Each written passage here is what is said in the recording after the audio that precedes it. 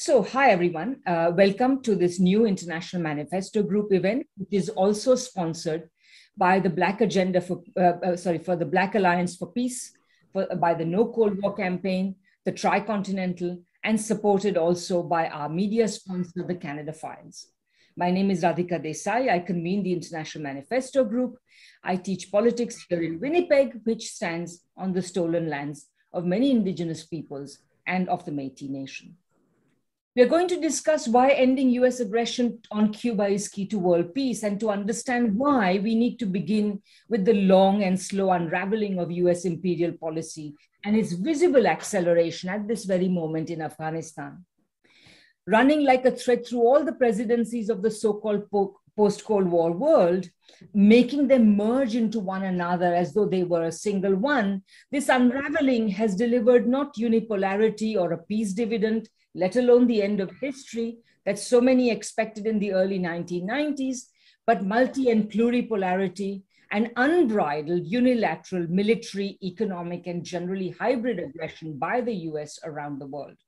This is all the more desperate for its awareness that, uh, of the unraveling, and therefore it has also tended to fail more spectacularly the, this process culminated in a manner of speaking in Trump's America First policies that replaced the more swaggering forms of US imperial policy in recent decades, such as Clinton's globalization or Bush Jr.'s empire.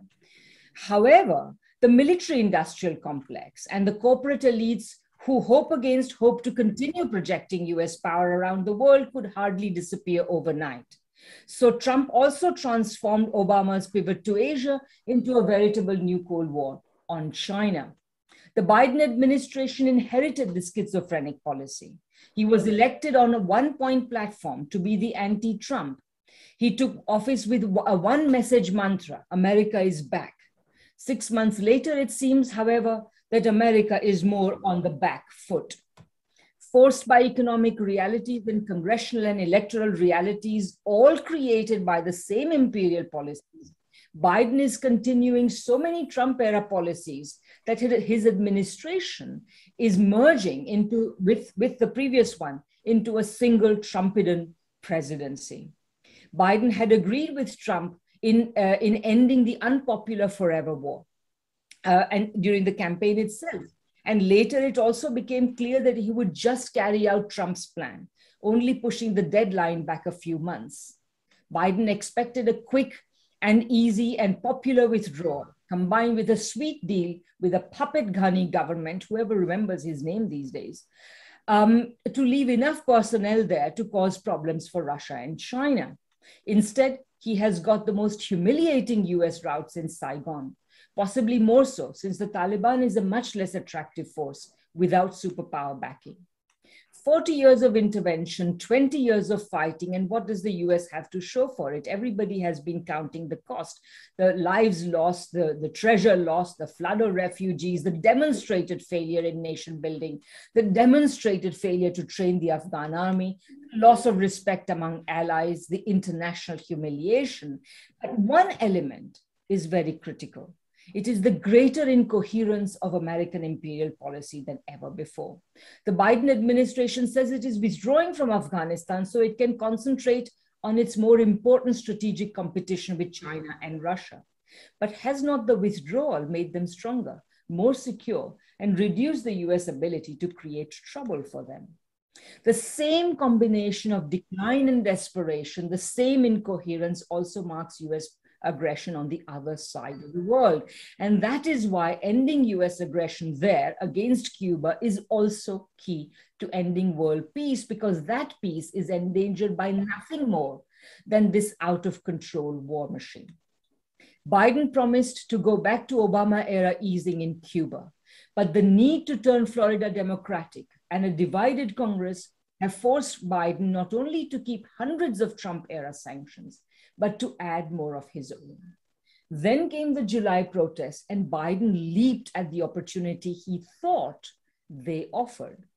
His Afghan policy was already wobbling, and Cuba was suffering. Though its world renowned medical system had helped it to face the pandemic with great success, Trump's sanctions with Biden sanctions added to them and the collapse of tourism were creating serious economic problems. So Biden thought, well, with a little cheerleading, considerable funding, funding, and much provocation, he could perhaps turn these protests into an overthrow of communist rule. What could be easier?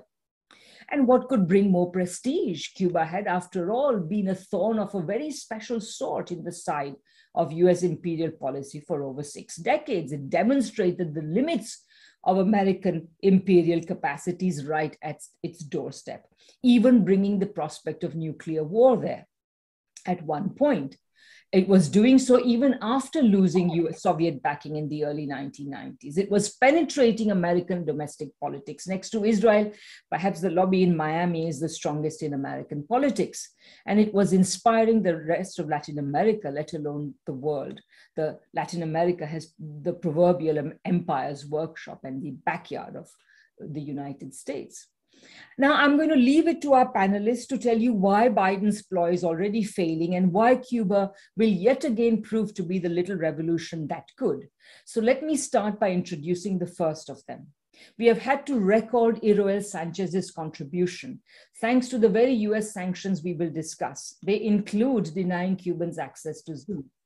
And we should add that our audience in Cuba is joining us through YouTube for the same reason. So let me now introduce Iroel Sanchez. Iroel Sanchez is, um, uh, uh, is, is based in Havana. He has a degree in computer engineering from the Universidad Tecnológica de La Habana, and he is the director of Casa Editora Abril and president of the Cuban Book Institute. From 2000 to 2009, he chaired the organizing committee of the Havana Book Fair. He's the founder of uh, La Jiribilla Cultural Journal.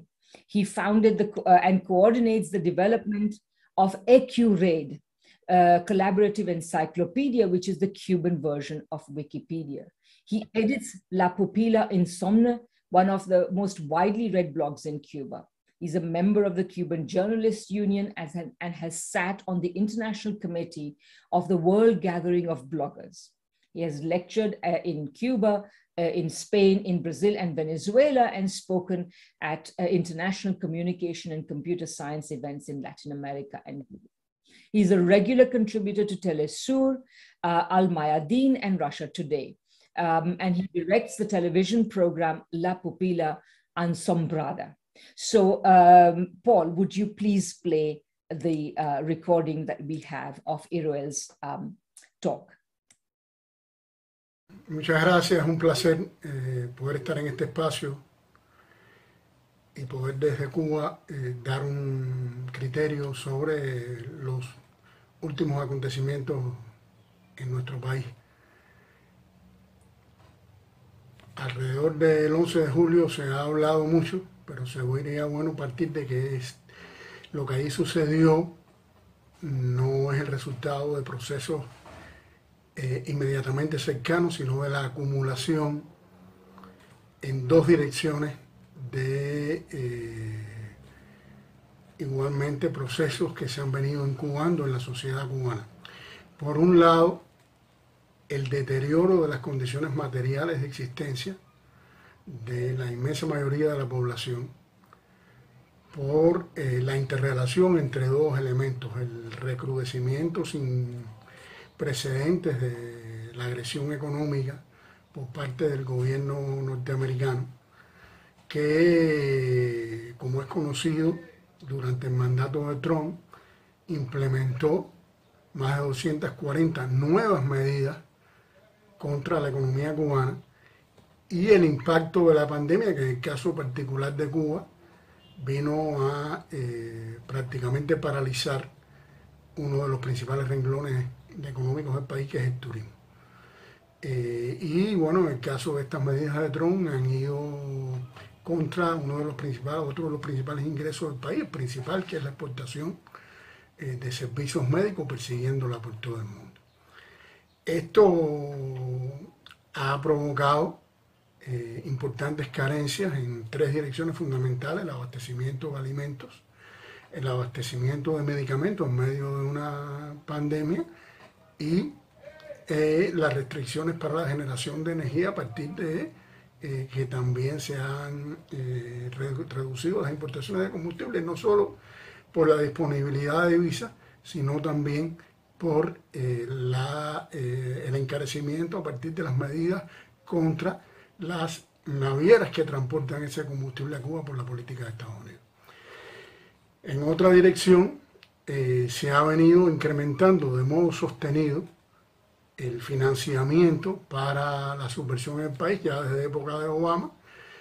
Ah, pudiéramos decir que hay dos grupos de medios de comunicación y de activismos digitales financiados de Estados Unidos, el, pudiéramos decir, eh, dirigido específicamente a sectores eh, de gran influencia en la sociedad cubana, a partir de eh, minorías como son intelectuales, académicos, periodistas, artistas, cuya mayoría sigue junto al proceso revolucionario, pero Estados Unidos ha logrado construir una cabeza de playa en esos sectores en Cuba a partir de publicaciones que tienen, han generado un interés de una microclase atada a ellos que tiene su modo de vida atada a esos, a esos ingresos provenientes de la subversión.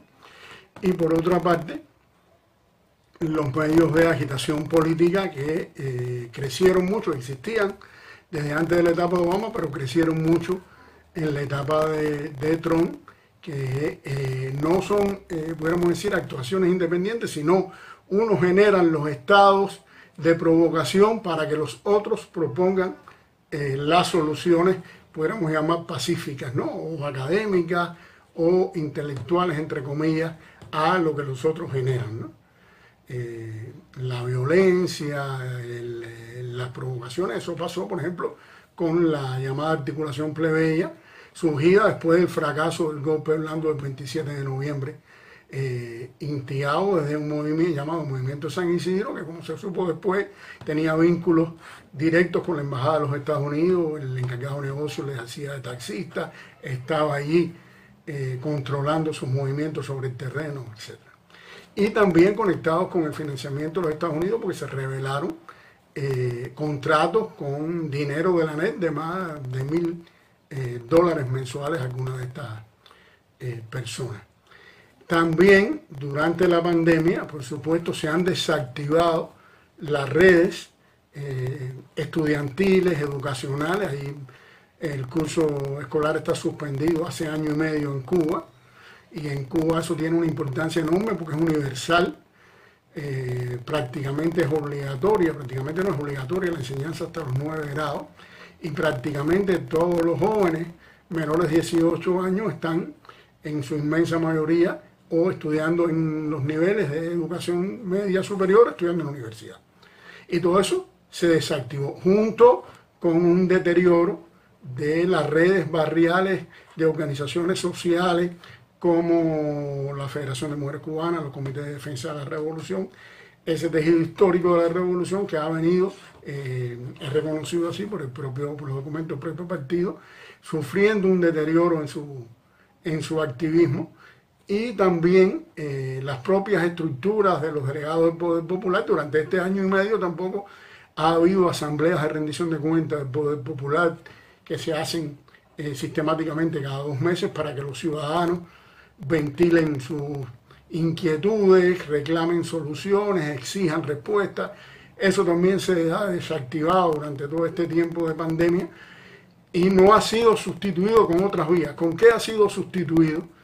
Con estas personas que eh, pertenecen a todas estas redes deterioradas o desactivadas, están, sobre todo los jóvenes, cada vez más tiempo en Internet, cada vez más tiempo en las redes sociales digitales eh, desde las finales de 2018 hay datos móviles en los teléfonos que aceleran todos estos procesos y están sometidas a todo este bombardeo desde los Estados Unidos, financiado a través de todos estos agitadores políticos, todos estos sitios de agitación política. Toda esta eh, combinación junto con eh, algo que el propio gobierno revolucionario, el propio presidente Miguel Díaz Canel, eh, reconoció inmediatamente eh, después del 11 de julio, que es eh, la desactivación de un grupo de programas sociales que Fidel impulsó durante lo que se llamó la batalla de ideas, pues, dígase los trabajadores sociales, los instructores de arte, los programas de superación para jóvenes, que se impulsaron un grupo de transformaciones económicas, pero estos programas en medio de esas transformaciones, lejos de ser menos necesarios, son menos necesarios, son más necesarios. Y no se, no se siguieron acometiendo, aunque sí están presentes las atenciones sociales, la seguridad social, siguen eh, estando presentes en las políticas del Estado cubano, esa filosofía de reconectar a los sectores vulnerables con las instituciones y con los programas del socialismo, porque están en desventaja. Hay igualdad de oportunidades, pero no hay igualdad de condiciones en esos sectores para aprovechar esas oportunidades, que fue de lo que Fidel se. Eh, también esta, este bombardeo subversivo, este deterioro de las condiciones materiales de existencia, eh, no se cuenta con esos programas que fueran un atenuante. Pero si bien es cierto todo esto, también eh, esto no sirve para decir lo que ha dicho el presidente norteamericano de que Cuba es un Estado fallido, porque precisamente han hecho falta 243 medidas de, restricción, de, restricciones, aún más del bloqueo que impuso Trump y que Biden ha mantenido. Ha hecho falta una pandemia que pone a Cuba en, en más desventaja que cualquier otro país del mundo para, para enfrentar y sin embargo Cuba lo ha hecho con uno de los mejores índices, menores índices de letalidad del, del mundo frente a la pandemia y lo ha hecho desarrollando hasta sus propias vacunas para enfrentar y ya tiene tres vacunas certificadas para uso de emergencia. Y Cuba acaba, de, por ejemplo, de, acordar con Vietnam un suministro de vacunas a un país de más de 90 millones de habitantes. Todo esto indica que a Estados Unidos se le ha ido el tren eh, en que creyó montarse el 11 de julio. Y todo esto que vemos después es la retórica para mantener viva ah, y contenta a esa minoría extremista de Miami, que eh, incapaz de mantener las protestas en Cuba, las hace en Miami, no sobre el terreno de Cuba, porque ya perdió la oportunidad, el tren se le fue. Y, y Biden que tiene con esta fantasía, esta pantomima, de dar internet ficticia libre a los cubanos, que es la misma ficción con que trataron de dar eh, televisión Martí y han invertido cientos y cientos de millones de estados de con dinero de los estadounidenses eh, para una televisión que no se ve, lo mismo que va a pasar. Creo que ellos están viendo que se les escapa el tiempo, están desesperados, fracasaron en la maniobra internacional, fracasaron en la OEA, fracasaron con sus aliados, solo consiguieron el, apoyo de 20 países, entre los cuales están eh, grandes violadores de los derechos humanos como Honduras, Colombia, eh, Israel, para una maniobra anticubana. Creo que en toda la línea están eh, desacreditados y frustrados en esta agresión. Lo que le queda es complacer a esta minoría extremista en Miami y yo creo que estamos asistiendo a, eso sí, una vez más, un intento fallido de derrocar la revolución cubana que todavía tiene muchos desafíos eh, por delante, tiene grandes problemas que enfrentar, pero yo creo que la manera en que está actuando hoy el gobierno cubano, yendo a sus bases, eh, eh, dialogando con, con las y renovando las estructuras sociales creadas por la, revolución, movilizando a los jóvenes alrededor de, la, de las soluciones de estos problemas, el camino para enfrentar estas agresiones y también adquiriendo una cultura crítica para comprender a nivel popular todas estas maniobras mediáticas y todos estos procesos eh, de las redes sociales, pero el gobierno cubano no le ha temido a eso. El gobierno cubano después del 11 de julio bajó los precios del acceso a Internet, hizo nuevas ofertas. Ese es el gobierno que, que Biden dice que le tiene miedo eh, a la Internet. Internet que ellos han eh, limitado para Cuba, incluso impidiéndole conectar a las decenas de cables submarinos que pasan a muy pocas costas de la de la isla y que Cuba tuvo que traer la internet con un cable desde Venezuela por más de mil kilómetros porque Estados Unidos le impidió conectarse. Esas son las verdades que esta maniobra eh, mediática de guerra psicológica en las redes sociales no quiere que se conozcan. Un saludo eh, a todos y muchas gracias por la invitación y muchas gracias por este espacio para hablar de lo que sucede en Cuba con la verdad. Gracias. Uh, thank you very much to Iroel Sanchez for giving us that very measured uh, hope, uh, very realistic uh, hope, and telling us exactly what makes uh, the Cuban Revolution so resilient. Um, okay, so now we will go to our second speaker. Our second speaker is Carlos Ron, and he is the Vice Minister for North America in the Ministry of People's Power for Foreign Relations in Venezuela. And he is also there, the president of the Simon Bolivar Institute for Peace and Solidarity Among Peoples. Carlos was born in Venezuela and there he has been raised and educated also in Brazil. As a diplomat, he was he has represented uh, Venezuela in the United States as well as in Brazil. He was an advisor to the Office of the Pres uh, of Presidential International Relations, coordinator of the research program on regional integration and multilateral agreements at the Miranda International Center. Um, uh, Carlos has uh, studied at, uh, in the United States and in Brazil. So, Carlos, we are very honored to have you, and the floor is yours. Thank you very much, Radhika, and it's a pleasure uh, to be here. And it's always a pleasure, of course, to to be somewhere where we can speak out and defend our brothers and sisters of uh, Cuba and the Cuban Revolution.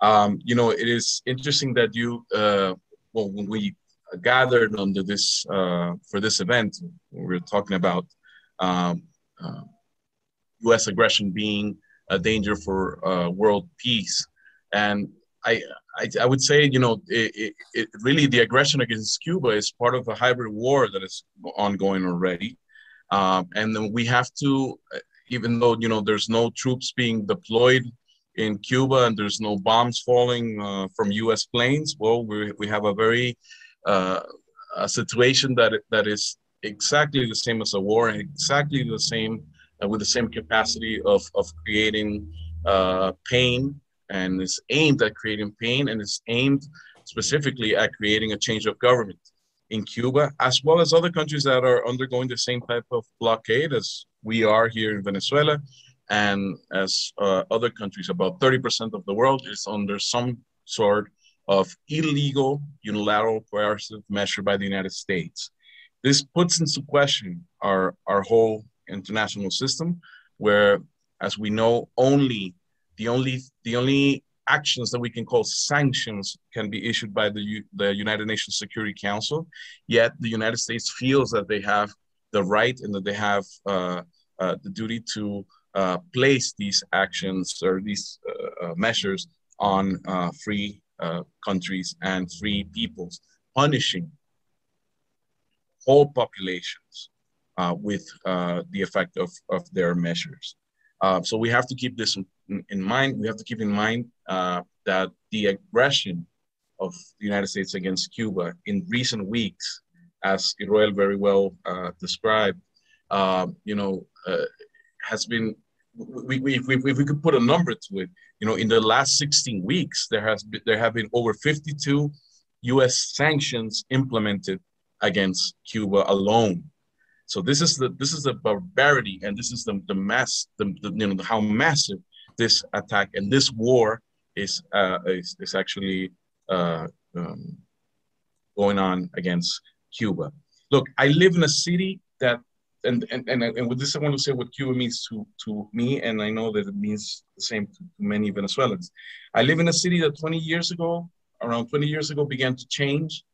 I could walk across from from from from my street and and begin to distinct, distinctly hear uh, the Cuban accent next to the uh, National Institute of Sports when we began the, the cooperation. I could walk further up the hill into one of the poorest neighborhoods here in, in Caracas. And I could also start hearing a Cuban accent for the first time at the post that President Chavez set up. So for the first time in the lives of many of the people that live here, they had access to uh, to a doctor. They had they had a, a doctor nearby.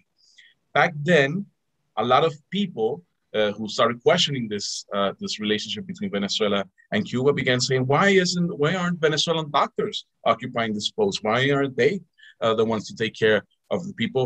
And the reality was that there was a call by the government to for Venezuelan doctors to go and to go into, into the inner city places and to go into the rural, remote rural areas of Venezuela, and they wouldn't go because they said things like you know, those, those these places are very dangerous. These places are not safe. Uh, we're not going to get paid enough money to do this. I don't want to risk my life for so little money and so forth. And the Cuban doctors, militantly and, and with commitment, came and gave these people, you know, the, the, the first the first you know medical attention they had in years, sometimes in generations, uh, because there, there there have been generations that haven't had this access.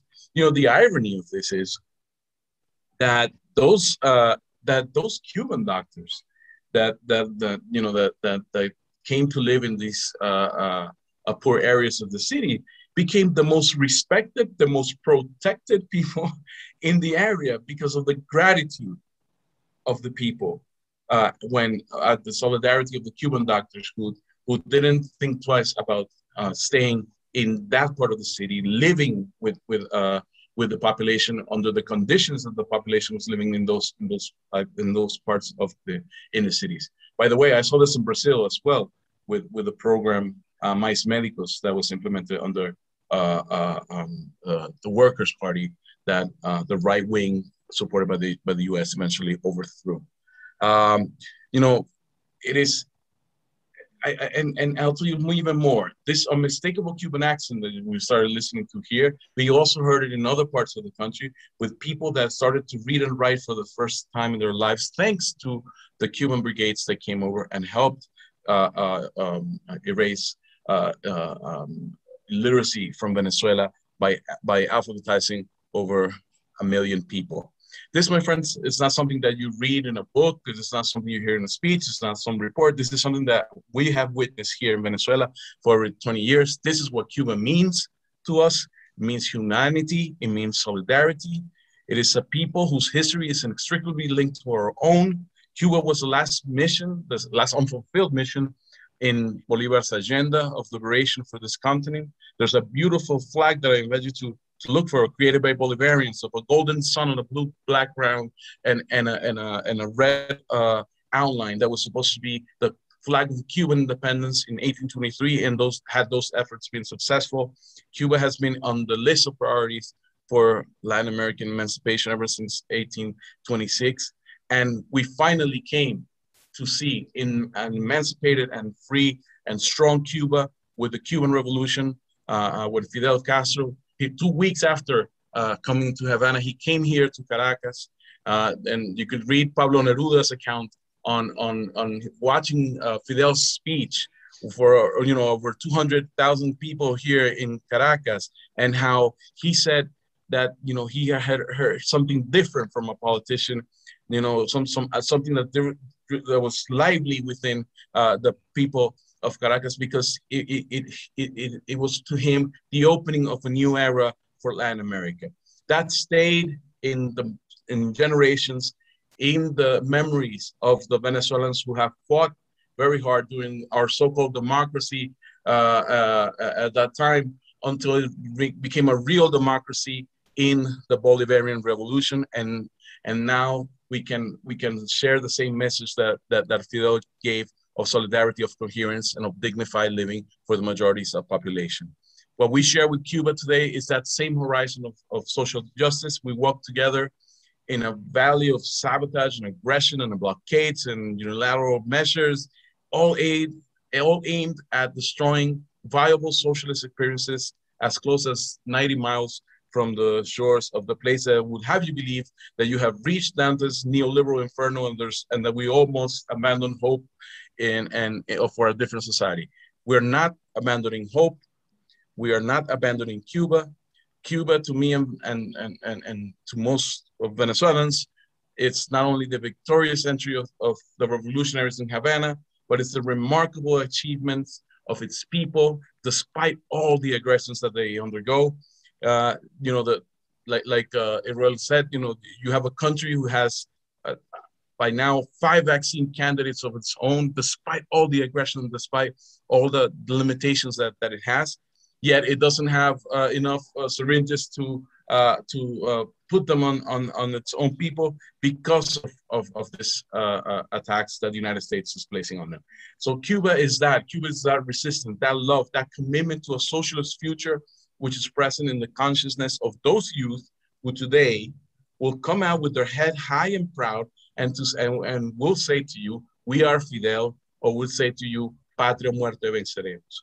So this is the Cuba that we defend. This is the Cuba that we stand firmly next to. And we must all do our efforts to denounce this uh, illegal and arbitrary aggression of the United States against all countries that it is trying to uh, destroy and overthrow because we are building a socialist horizon that they are afraid of. Thank you very much.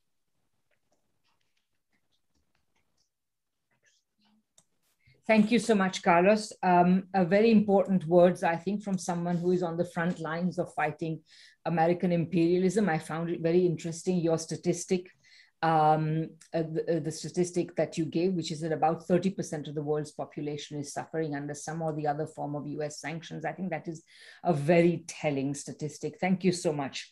Our next speaker is Chris Hazzard. He was a member, the member of the Legislative Assembly of Northern Ireland. Uh, for the South Down constituency from April 2012. And then at that time, he was also Minister for Infrastructure in Northern Ireland uh, until from May 2016 till the executive's collapse in January 2017. He's a passionate advocate for rural Ireland um, and, and has been a signatory to the open letter entitled Let Cuba Live, which appeared in the New York Times, calling for an end to sanctions on Cuba. Um, Chris, the floor is yours.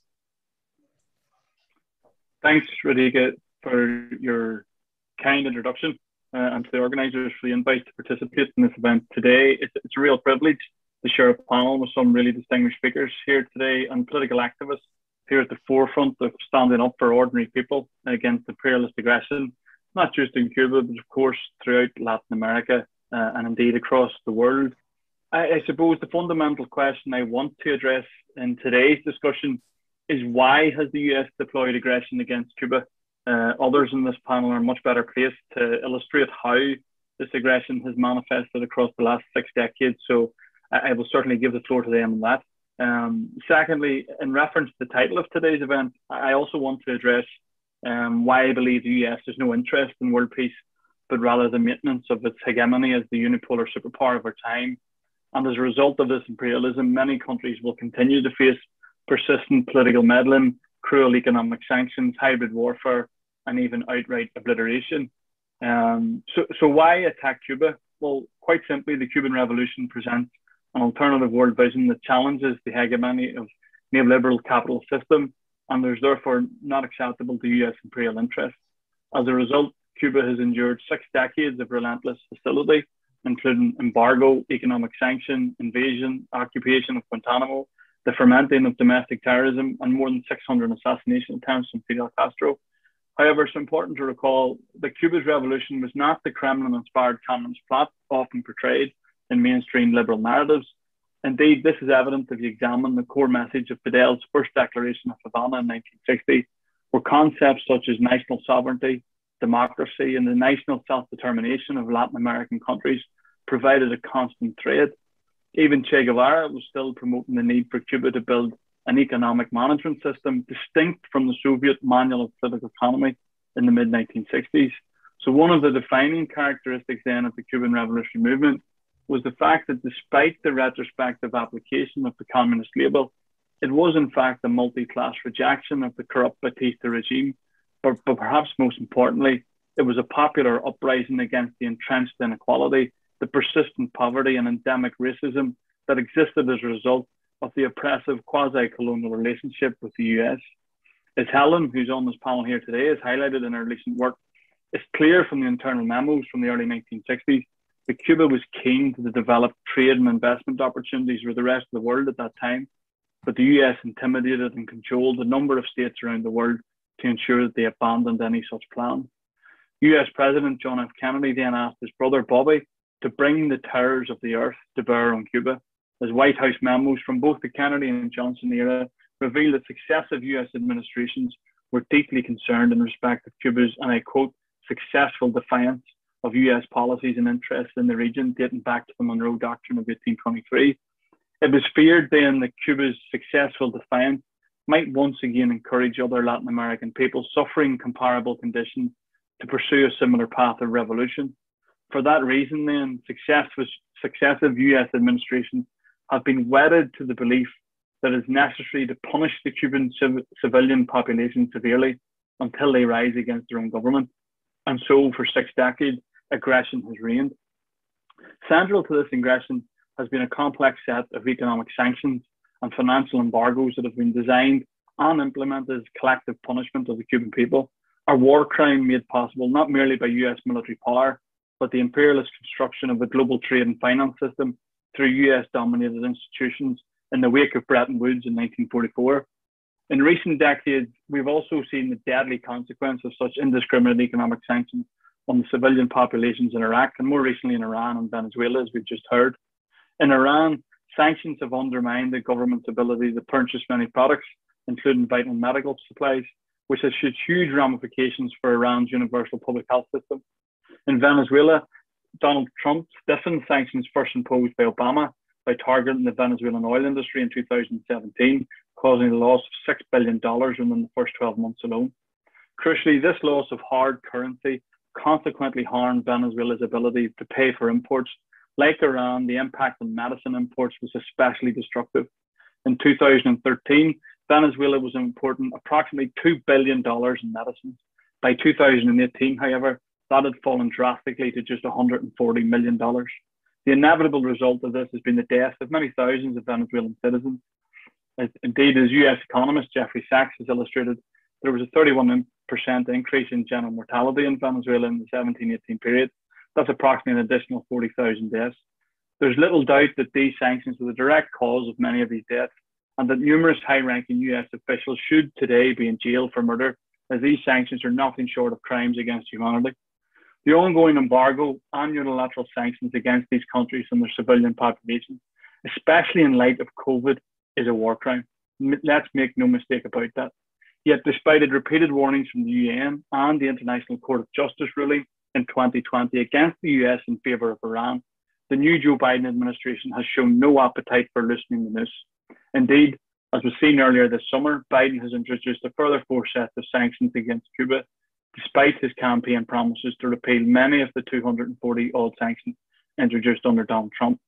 And of course, Biden has been able to break his campaign pledges by sticking to the well established imperialist tactic of inventing a false narrative to justly justify illegal actions for a domestic audience.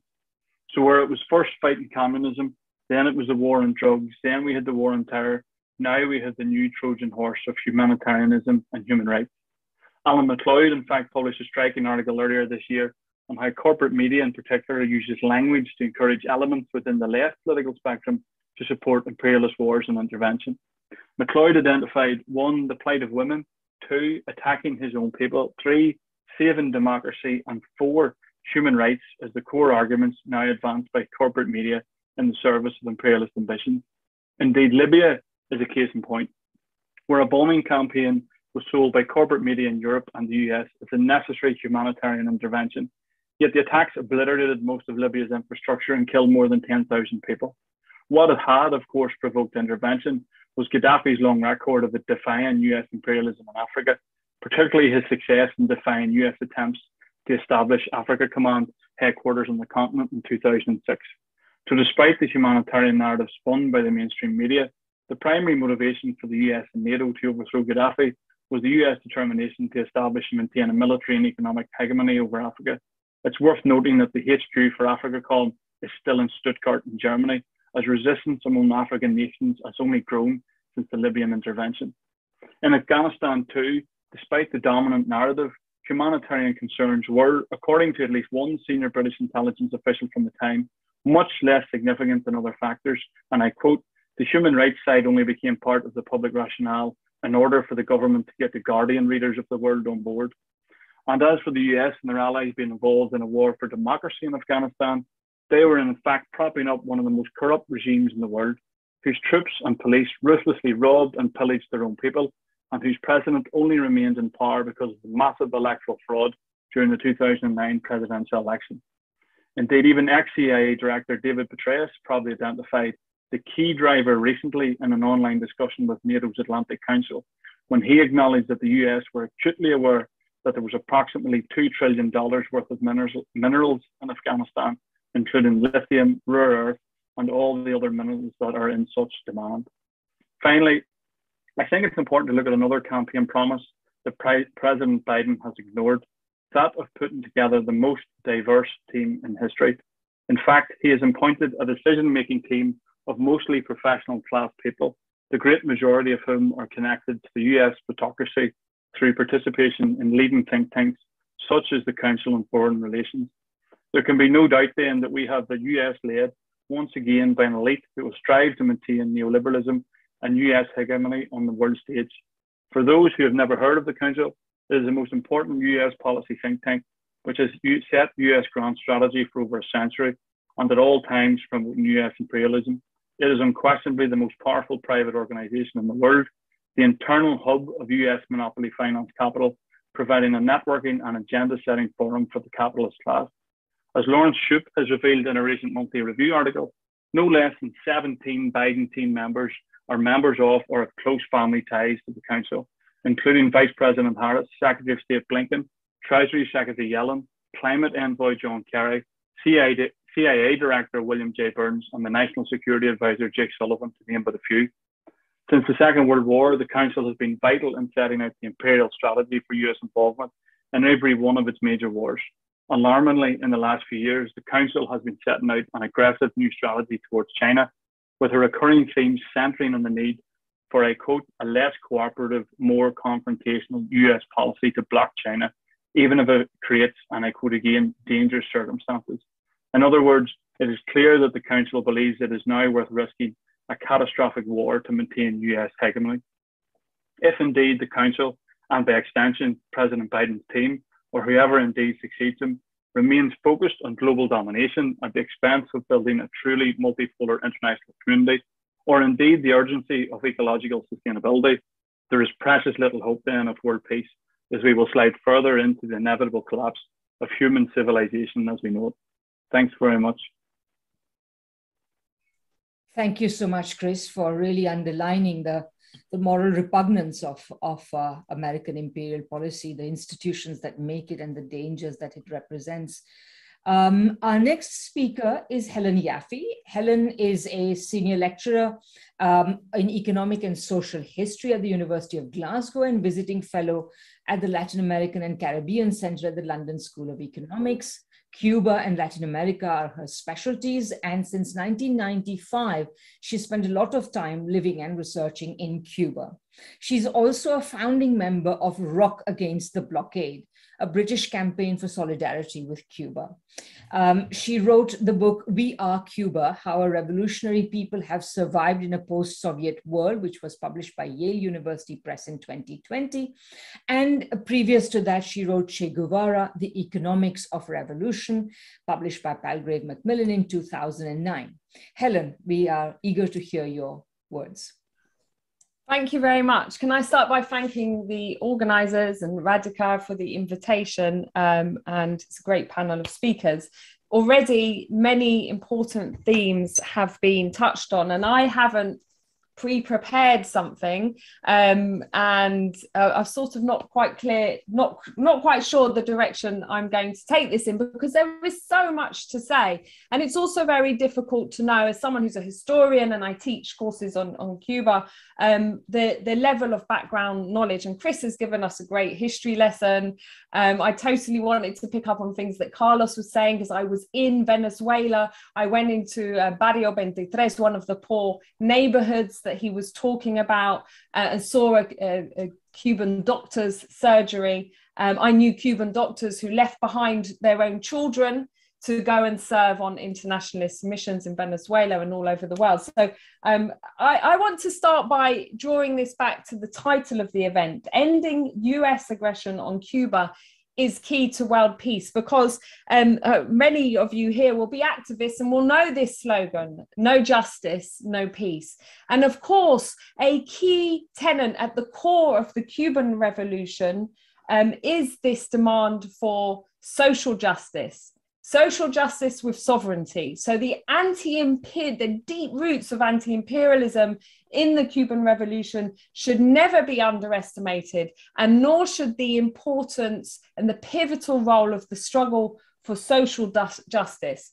And this is actually, as uh, others have outlined, Cuba's great crime because um, Cuba shows that in order to achieve social justice in underdeveloped countries, and I use that term underdeveloped rather than developing very consciously, countries subjected to hundreds of years of colonialism and then imperialism, in order to uh, attain social justice, they um, have to take an anti imperialist position. In other words, they have to um, block the exploitation and oppression that leads to the high standard of living that the uh, majority of populations enjoy in the imperialist countries. And we have to also be clear that we're not just talking about the United States, we're talking about complicity from all the imperialist countries, not just uh, in relation to Cuba, that certainly has been there, and the document, fascinating documents are there about the pressure that was applied by the White House,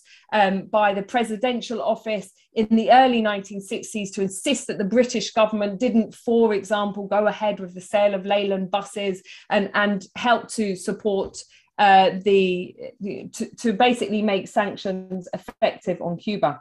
So that's one thing.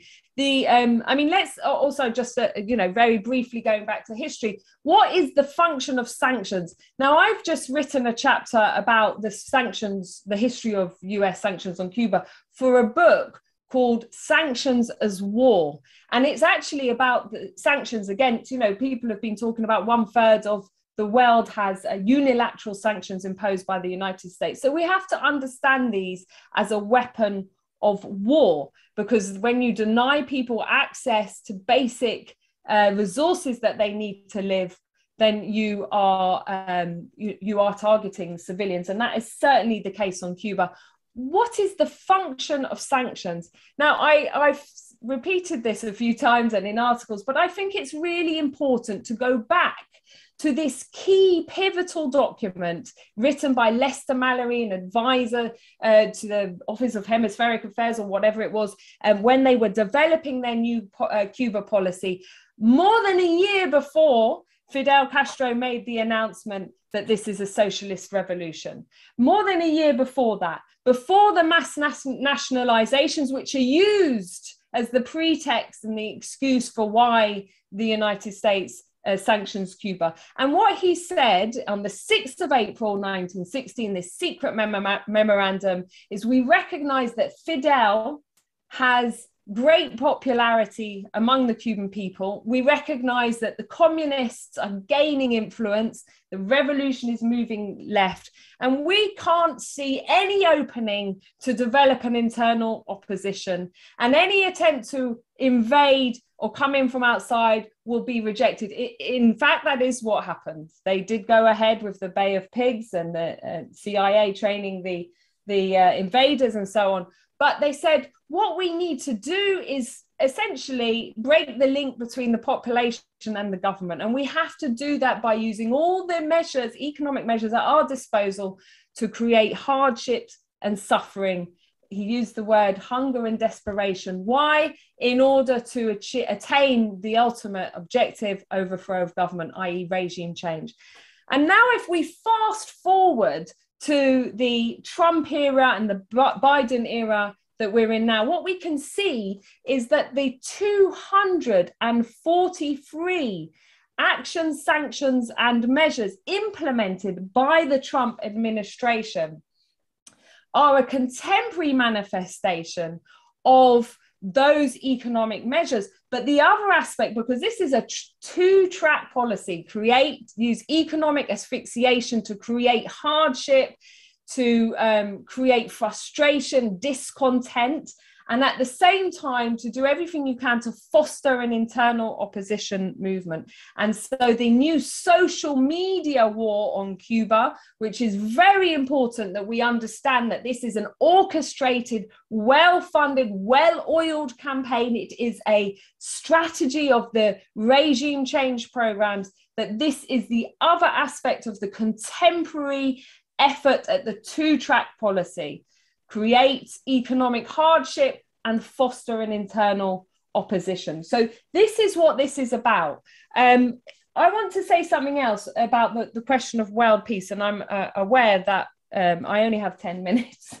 so um, when you know carlos was talking about the beneficiaries in venezuela as i said i've seen that i've been in the barrios myself but you know um, in Venezuela, the Cuban doctors who poured into Venezuela at one point reaching 28,000 uh, medical staff present in Venezuela. That was the first time that many people had noticed Cuban medical internationalism. But let me tell you some incredible things. Other people noticed a little bit later with Ebola in West Africa in 2014, or perhaps earlier when the devastating earthquake happened in, in Haiti with a possibly estimated quarter of a million people killed in the first instance, let alone the consequences of that. But by 2014, we can say, and I'm reading from my book, which has a chapter on Cuban medical internationalism.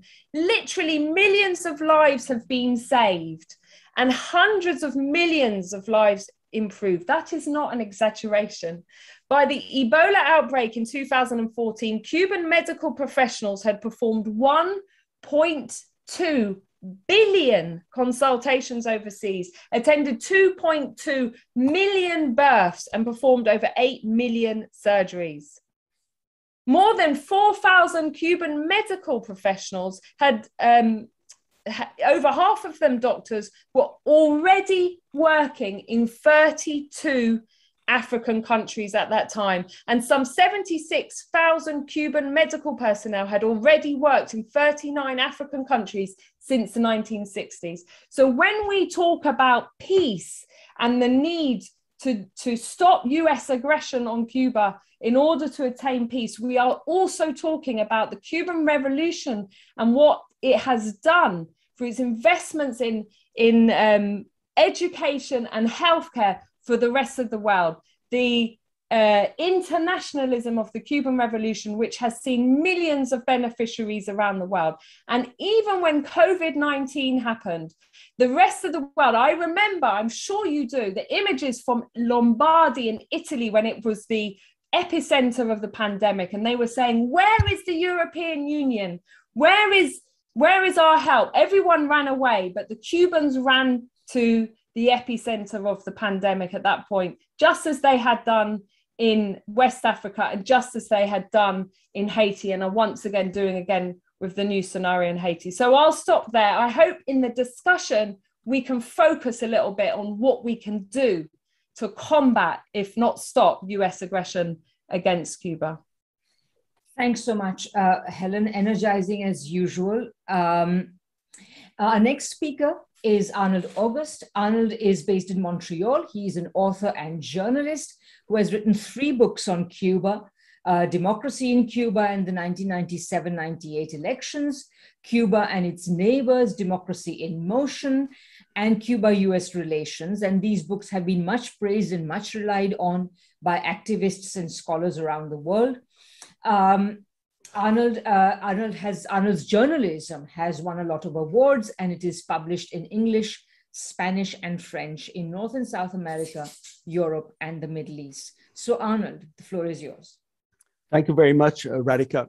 Um, in our appeal for today's event, we indicate very clearly that we stand against uh, the color revolution, or more precisely, color counter revolution, as an integral part of US aggression against Cuba and thus endangering world peace. Now, uh, I would like to just give one example, my example from Canada, about this issue of support for counter revolution. But before saying so, I think it's important to take into account once again that on July 11th and 12th, there was very important violent activities that took place uh, plunder, looting, even attacks against uh, state health facilities. This took place on July 11th and 12th. Now, uh, let's uh, get an, one other point. Of course, there are other factors that played into the uh, demonstration. Uh, Iroel Sanchez indicated that there are a lot of some confused people who participated. However, what I'm saying today, I'd like to concentrate on one specific point on the the question of Canada.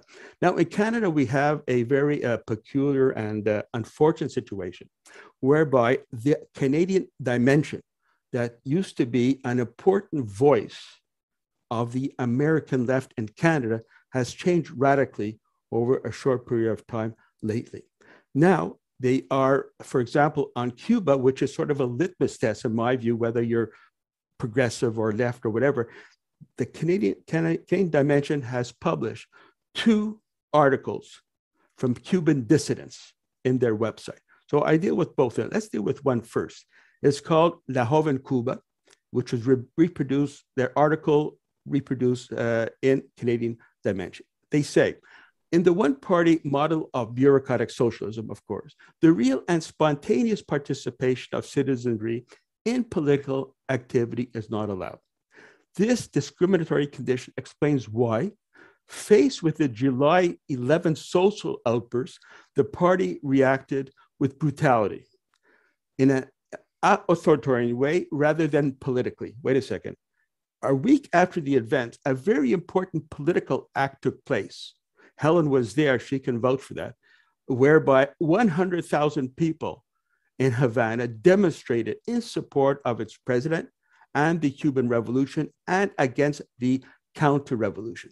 Now, this article uh, in La Joven Cuba, published in the Canadian Dimension, c- continues freedom slogans that swept the island indicate the demand of the citizenry to be recognized in a political process that has that, that has ignored them up to now. Now, wait a second. Where have you guys been? Where has the, uh, the Cuba been since 1959 after the uh, Cuban Revolution overthrew a dictatorship, a neo-colonial stranglehold over Cuba, and get, began the process of developing real people's democracy, not just where citizens are just recognized, but where citizenry play an active role in their own revolution. Let's go on to their next gem. Se- they say several governments and the European Union as a bloc have criticized the violent repression. Now, what were some of the other countries? Well, one of the other countries is Canada. So this puts the um, Canadian dimension in a very difficult situation uh, because, in principle, they are very much against the Canadian government, against Trudeau and its foreign policy. But by copying and pasting what the dissidents have to say about Cuba, they open themselves uh, in, in, a, they are in a very difficult situation because the, these dissidents, they love the Canadian government. They even more so love Trudeau just as much as they loved Obama before. So let's see what the Canadian government said about July 11th that has so much impressed these dissidents. On July 12th, the Canadian Foreign Affairs said, it is closely monitoring the situation in Cuba, concerned by recent events, and urges all sides to exercise restraint and encourages all parties involved in the crisis to engage in peaceful and inclusive dialogue. Okay. July 15, Trudeau said, We're deeply concerned by the violent crackdown on protests by the Cuban regime. Mr. Trudeau, do you not have diplomatic relations with Cuba? Why do you call it suddenly calling it a regime in the same way that Trump and Biden does? Trudeau goes on, we condemn the arrest and repression by authorities of peaceful demonstration. We stand with the people of Cuba who want and deserve democracy, freedom, and respect. How nice of Canada. Now, the, on July 23rd, a phone call took place between Canada's foreign minister uh, Marc Garneau and Cuba's foreign minister, Bruno Rodriguez. And the, uh, the uh, readout of that event by the Canadian government is as follows Canada expressed its deep concern over the violent crackdown on protests in Cuba, particularly the repressive measures against peaceful protesters, journalists, activists, and arbitrary detention. So this is the position of the Canadian government. Now, uh, let us deal with the second uh, important uh, um, dissident group whose article has been uh, published in full by the Canadian Dimension. This one is called OnCuba. Here's what they say. If after these protests, the government insists that the only way to channel this unrest is through, they put this established channels, in practice, that means that the avenues for handling these conflicts and needs one minute, Arnold. Sh- one minute. Uh, closed off or unacceptably narrow. So I'll just close by uh, saying uh, this. The other thing that they say is that a social uprising occurs when society is already broken. This is very close to what Biden said, no? Saying that the Cuban state is the Cuban state is a failed state. And the last thing I would like to say, it's important that this, uh, what this uh, dissident group said, that the words vandalism and uh, criminals, these are words used by the Cuban government, have antecedents, for example, with what Chilean President Sebastián Piñera said, who also called people who demonstrated during social uprising as vandals and criminals. So here they are opening up a discussion, openly suggesting that Miguel Diaz-Canel is similar to dictators such as in Chile. Thank you very much. Thanks so much, Arnold. That was really uh, interesting and absolutely full of uh, very important information. Um, our next speaker is Fiona Edwards. Fiona is co founder and member of one of our sponsoring organizations, the organizing committee of the No Cold War campaign. And she is a journalist who focuses on progressive struggles in Latin America uh, and on US policy, uh, sorry, on, and on the US Cold War against China. She's also the editor of the Eyes on Latin America website and a national officer of the Stop the War Coalition in the United Kingdom or in Britain, rather, sorry. Um, Fiona, please go ahead. Um, thank you very much for that introduction, Radhika, and it's, it's a great honour to speak today amongst such brilliant company.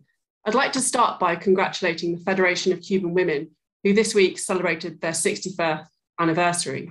Today, 24,000 Cuban women medical professionals are present in over 40 countries across the world, providing healthcare to those in need during this pandemic. It is amazing to note that the majority of doctors and nurses serving in Cuba's international brigades are women. These women are fulfilling the promise made by Fidel Castro when he said, Our country does not drop bombs on other people's. Our country's tens of thousands, thousands of scientists and doctors have been educated in the idea of saving lives. Doctors, not bombs. Um, it is this spirit of internationalism and global cooperation that humanity needs right now, especially to overcome our common problems saving lives by ending this devastating pandemic, making global poverty history, and stopping climate breakdown, which threatens us all. And yet, the world's most powerful country, the United States of America, is shunning global cooperation.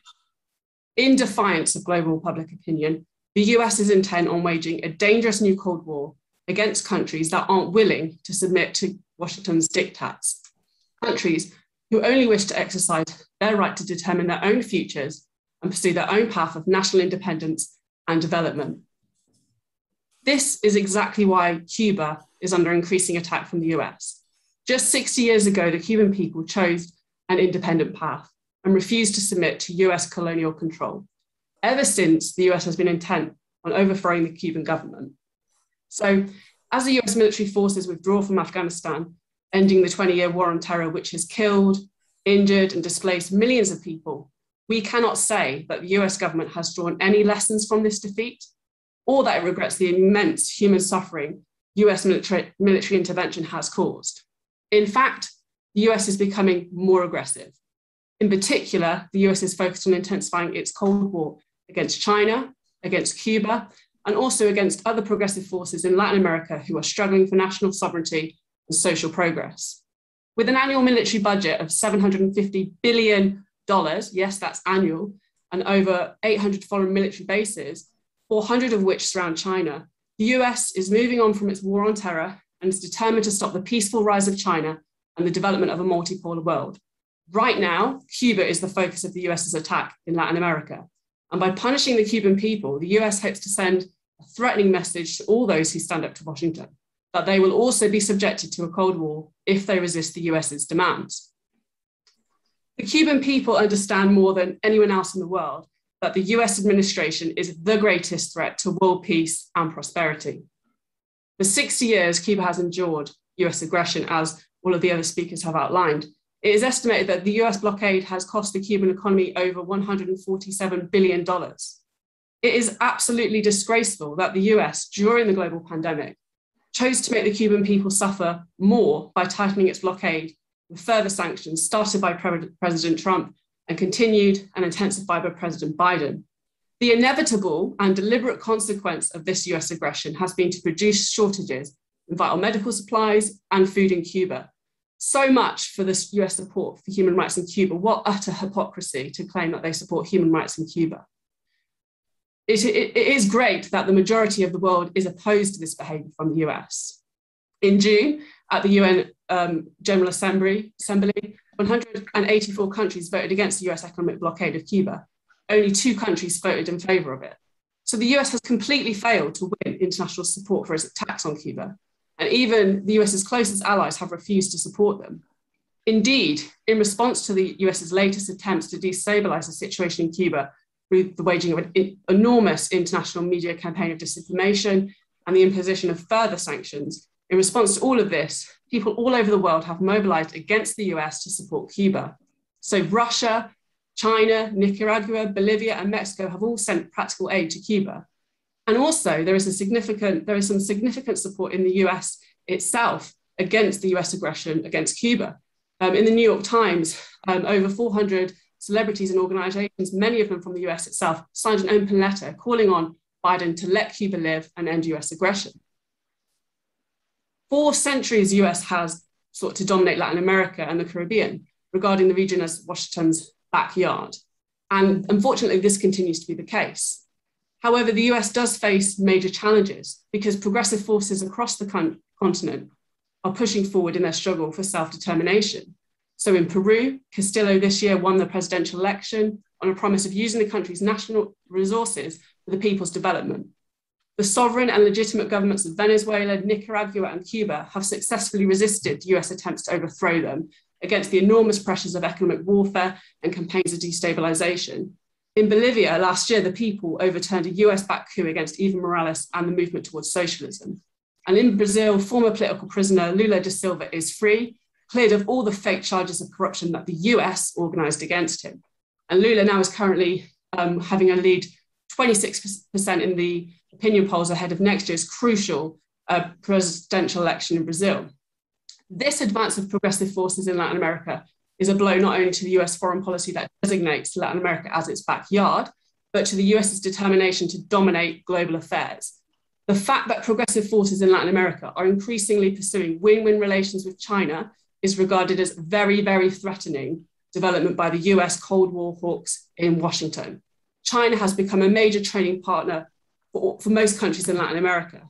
The US wants to stop this movement towards a multipolar world.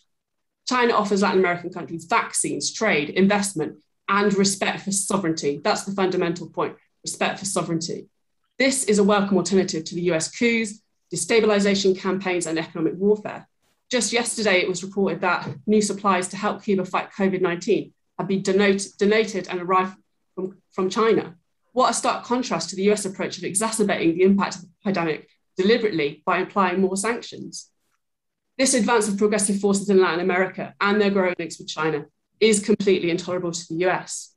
And so I, I think that in addition to opposing the US's increasing aggression against Cuba, the world must be alert to the imminent threat of a US backed coup in Peru, the threat of a serious destabilization campaign in Nicaragua ahead of the election in November. And we must be aware high profile figures from the United States, such as Trump's former advisor, Steve Bannon, are already intervening into next year's presidential election in Brazil.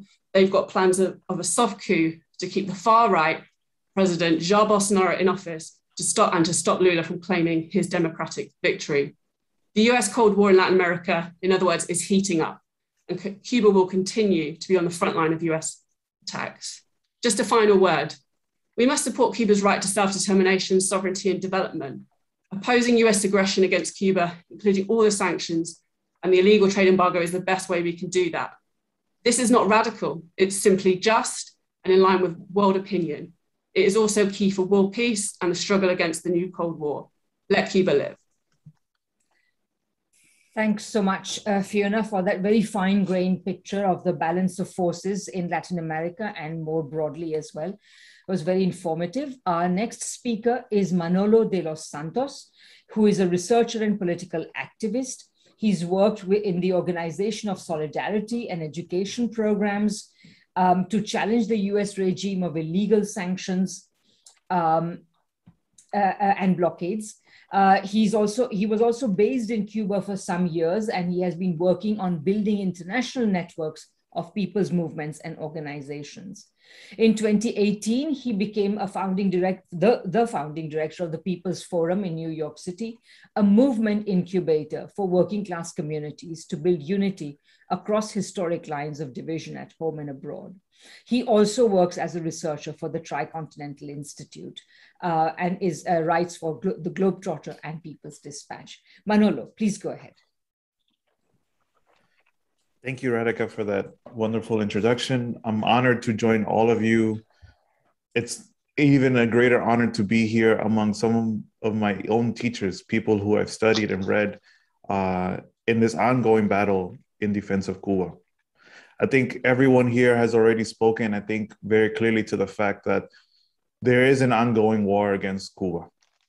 There's a war against Cuba for so many reasons because it has a socialist project, because it defends its sovereignty and independence, because Cuba, in many ways, is the base for the dreams and projects of justice around the world.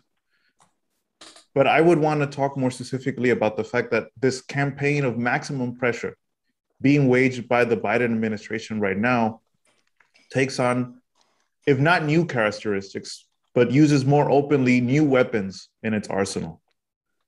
The fact is that at this point, Cuba is not faced not just by economic warfare, which has been in place for close to 60 years now. Cuba is not faced only by the 243 measures imposed by the Trump administration, but there's a full set of war tools being used against Cuba right now that prey on the internal factors, the internal weaknesses and, and issues that Cuba faces every day.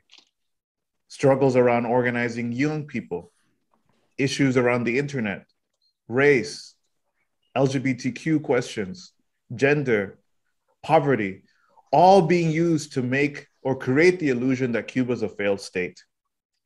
All used to create the idea that somehow in 62 years of revolution, Cuba has made no progress or has not advanced enough. According to the standards of who? I question the hypocrisy of the US government, but of the international, sometimes progressive forces who weigh Cuba or put Cuba on a pedestal that it doesn't necessarily need to be on.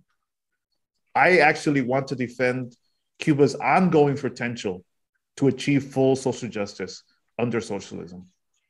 I want to defend Cuba's right to make mistakes, to commit mm-hmm. errors. That's right. The right of Cuba to actually live out its full promise of revolution, which means changing everything that must be changed, like Fidel often talked about, but recognizing that that is a popular process that has many steps forward as it does backwards. Right now, the ongoing threats around Cuba so visibly seen on social media, on the internet, will seek to maximize or put greater focus on what seem to be Cuba's great weaknesses. But I celebrate these. I celebrate these because these actually demonstrate the vivaciousness, the resilience of the Cuban people. The fact that, yes, they're struggling to tackle racism. Yes, the fact that they're struggling to end homophobia and transphobia. It's a struggle, a struggle to actually build a different world. And I'm willing to put my life on the line to defend that project. Because at this point, Cuba needs the world, but we need Cuba even more. Where would we be in our own projects of liberation if it wasn't for the Cuban Revolution? Where would we be without Cuba as consciousness of the world, constantly reminding us that healthcare is not a privilege, but a human right. Where would we be without Cuba as the lightning rod for new and invigorating projects for socialism around the world? All different, in their approaches and their tactics and strategies. In many ways, I would often refer to Cuba as that old home for the Bolsheviks that re energizes us and pushes us forward in today's struggle. Knowing that so much has been said already in this panel, wonderfully convened, that brings so many voices from around the world, I would only add to that call that says, let Cuba live. But in order for us to let Cuba live, it's not just about stopping or saying we are against the aggression of the US empire, but it's also about building the broadest movement possible of all the necessary forces on the planet willing to stand with Cuba. It often means that we will have to create the strategies that seem impossible in order to make sure that Cuba itself doesn't feel that it's alone, but also to remind the empire, and not just the US, but Canada, Britain, and other leading forces on the planet, that we will not be willing to see Cuba sacrificed on their altar of capital. Just to end, I think about the next book that Vijay Prashad and I are editing, which is a selection of speeches by Fidel Castro in moments of crisis. It's coming out in a few weeks, and I hope all of you get a copy. But to me, the one of the things I've learned the most just from editing the book, from rereading Fidel's speaking in those moments in which Cuba was being fiercely attacked militarily, seeing its young people being killed, seeing Cuba face the special period alone in many ways, seeing Cuba have to face the, the dark night of neoliberalism in Latin America, his constant optimism, his constant belief that we will turn all setbacks into victories is what keeps me here standing today with all of you and with Cuba. So I agree with my friends from No Cold War, from all the different organizations that are here, that we will not allow Cuba to be defeated. We will not allow Cuba to continue to be blockaded. We will not allow Cuba to continue to be silenced. We will stand with her always. Let Cuba live. Thank you so much, Manolo. That was very inspiring. And I think you're basically telling us if you really want to support Cuba, you really, it's not about just letting Cuba live, but also following the example of Cuba and standing up for our own economic sovereignty, for our own social justice and supporting all those struggles. Thank you very much. So finally, the sort of the dessert on our wonderful eight course intellectual feast will be Camila Escalante's uh, remarks. Uh, Camila is the woman behind the Kawsachun News, a media outlet which is based in Bolivia. And she's also known for her, uh, for her correspondent work around Latin America. Camila comes from a family of FMLN revolutionary former combatants. She has been based, among other places, in Quito, in Havana, and in Caracas. And she's currently based in Tropico of Cochabamba. And she reports on the campesino movements across the continent. Uh, she will be on the ground covering the upcoming elections in Nicaragua and in Venezuela. So Camila, please take it away. Thanks so much for having me. I wanted to echo what we've already heard from Vice Minister Carlos Ron in Venezuela on the contributions and the presence of Cuban doctors around the world. Here in Bolivia, um, under the leadership of Evo Morales and the MAS government, uh, they were able to better the conditions of Bolivians across the board through investment in infrastructure and social programs. But a country without specialized health professionals or with large regions without sufficient doctors can't train or form doctors as quickly as it can build roads. And for many people here, particularly the indigenous communities in areas like the one I'm in, like you said, the Tropico of Cochabamba, um, the Cuban doctors left a massive impression on the people and provided some of the only decent and dignified care people have ever received in their lives. And when we speak to people, they always talk about their experiences uh, receiving medical treatment from the Cuban doctors during their time here.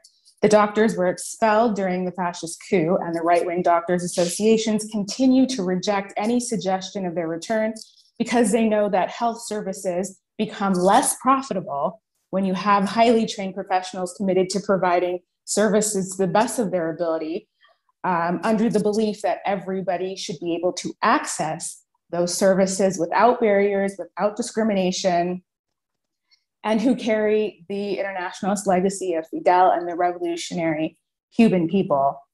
So I've been covering Cuba in English for a number of years, now primarily for Kawsachun News, and I get a lot of questions about where English speakers can find the best information on Cuba. Our policy here at Kawsachun News has always been to go straight to the source. And so I wanted to share some of those sources quickly. So Cubadebate has been one of my main sources for full transcripts of important speeches, such as the ones by General Raul Castro and Miguel, uh, President Miguel Diaz-Canel, and many others, uh, many other speeches and discourses um, from congresses and other key events. Oftentimes you'll find them in Spanish, but you can copy those and of course translate them through free online translators if they're not published in English or if they're not yet published, translated into English. Granma is the official outlet of the Communist Party of Cuba's Central Committee that has also been key. Um, it has a version in English as well as several other languages. Prensa Latina is the official state news agency of Cuba with a capacity to cover Cuba, Latin America, and the entire world with frequent news articles on its website and which many international outlets and agencies do use. Uh, Telesur English is now being uh, beginning to operate in Havana, where I was based, uh, with Telesur at the start of this year. The Agencia Cubana de Noticias um, is also one of the main uh, uh state sources that can be a great source for photos, uh, high quality photos of events, which you can find on their social media. There's a project called The Belly of the Beast. It's an outlet based in Havana and I had had the opportunity to meet with one of its founders this year. And they do more of video and multimedia, which is specifically made for an English speaking audience, uh, a foreign audience, largely on social media. They have a YouTube channel. And last year, they released a series called The War on Cuba, which can be found on YouTube. There are many other great sources. Of course, everyone on this panel is a great source for Cuba information, but I'd also like to encourage everyone to locate and follow Cuba's scientific and medical research developments through the official pages of the Finlay Vaccine Institute, BioCuba Pharma, and the Center for Genetic Engineering and Biotechnology, that's acronym CIGB. There are many others. The Minister of Health is uh, Dr. Francisco Duran.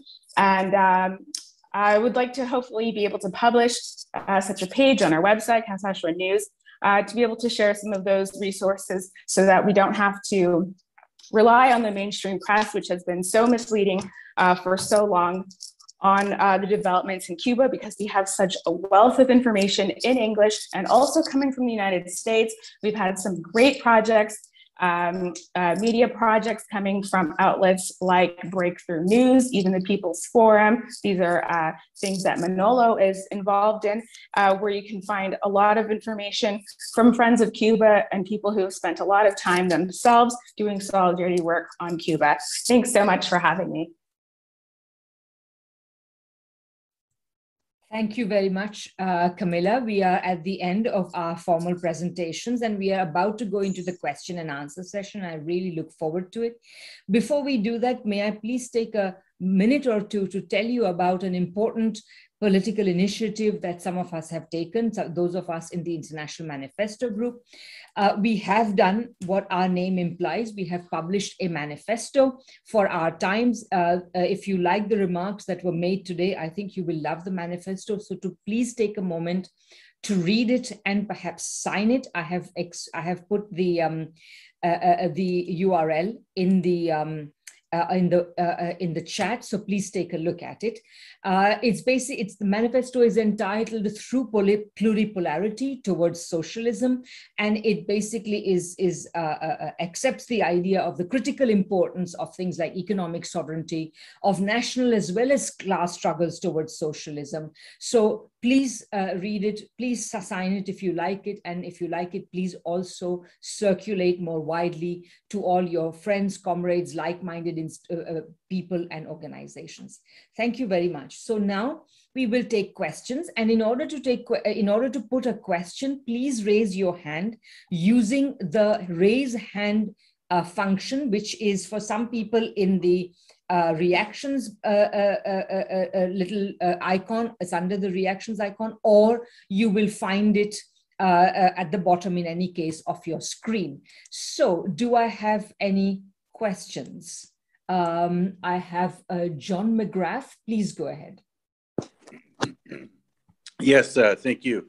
I'm an American citizen living in the UK, and I've enjoyed this speech or the talks today. I was wondering if I should put uh, my energy into uh, this um, congressional bill uh, with uh, Amy Klobuchar about uh, ending the economic blockade. I know it doesn't have any language about Guantanamo Bay, and that it's uh, drafted by people who are most interested in, you know, selling wheat to Cuba, et cetera. Um, it doesn't, you know, it's not like a.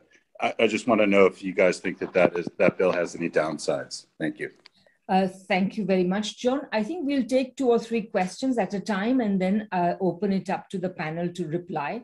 So I have a second question from Serge Ruski. Serge, please go ahead. Uh, Heather, uh, can you hear me? Yes. Excellent. Uh, good morning, everybody, or afternoon, depending on where our esteemed panelists and attendees may be. Um, my question is for MP Hazzard, um, but anyone can feel free to add on to this answer. I recently spoke with uh, Cuba's ambassador to Canada, Josefina Vidal, and one of the things we discussed was the ample opportunities for investment in Cuba.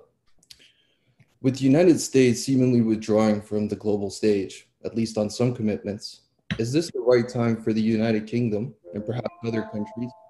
You know, we have His Excellency Mr. Ron from Venezuela joining us as well to pursue closer economic ties with Cuba, or at the very, very least reassess them. Thank you. That's great. And I have a third question from Nino Palicia. Nino, please go ahead. Hi, uh, thank you. Uh, thank you very much for uh, this uh, amazing uh, panel. Um, for those of us who have been uh, working um, in solidarity with Cuba, this is very inspiring. Um, I want to refer specifically to um, a message that, that Manolo de los Santos gave us and was in relation to building a strong international uh, movement. And now this is, when we speak uh, about Cuba, uh, we're not speaking only the, the, the uh, uh, against the blockade, the US blockade against Cuba, but we're also speaking against uh, the um, interference, intervention of other countries. Arnold referred to Canada specifically. So when governments deal with Cuba and other countries, that falls usually under the area of foreign policy. Now, in my experience, uh, foreign policy is not necessarily the uh, at the forefront of uh, people's minds uh, in those uh, countries. So it seems to me that one our own uh, maximum pressure um, in our own countries has to be in the area of foreign policy. Uh, and that is usually the least important uh, uh, from the people. Now, I would like a, a, comment in relation to that and see how, in fact, we can mobilize uh, actions uh, focusing on foreign policy that would address specifically uh, the issue we're talking about Cuba, Venezuela, Nicaragua, uh, etc. Thank you. Uh, thanks, Nino. Those are some very important and I think quite practical questions. So, uh, who would like to take them first? Uh, I'm going to go to gallery view so I can see among who among the uh, Helen. Please go ahead. Yeah, hi. I want to address the question of both um, investments in Cuba and um, building, you know, an opposition to US sanctions. So there's a few things to make clear. US sanctions on Cuba are unilateral. They are national laws. However, they massively impact and block Cuba's ability to engage with and trade with the rest of the world because of the power of uh, the United States economy and particularly the leverage it has because the US dollar is uh, the dominant currency. So in 2019, this is according to the Wall Street Journal, 88% of transactions were carried out, international transactions were carried out in the US dollar. And the US can uh, prohibit or permit those transactions to take place. So you have this terrible uh, dichotomy where, on the one hand, countries like Britain and all, you know, the whole of the European Union have legislation which make it illegal to implement United States sanctions, which are a domestic law, in an extraterritorial way. So it is illegal in Britain and the EU to fine individuals or companies for trading with Cuba.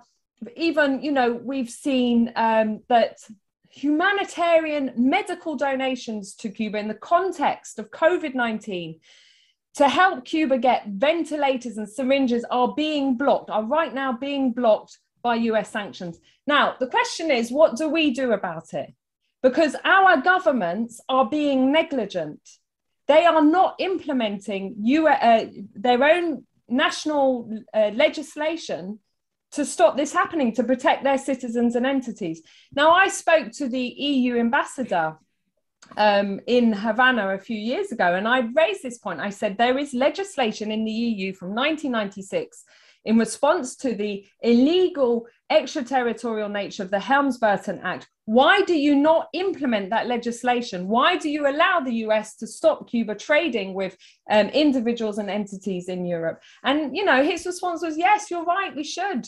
We're not implementing our own laws. But the fact is that Cuba counts for 0.8% of EU trade, whereas the United States is, is our dominant trading partner. So I think um, you know, this links to the, the question that you've um, raised, Nina. What can we do? We need very um, radical militant campaigns in our own countries to hold our own politicians and legislature to account. Essentially, if anyone here for example, I'm in the UK and someone asked about UK investment.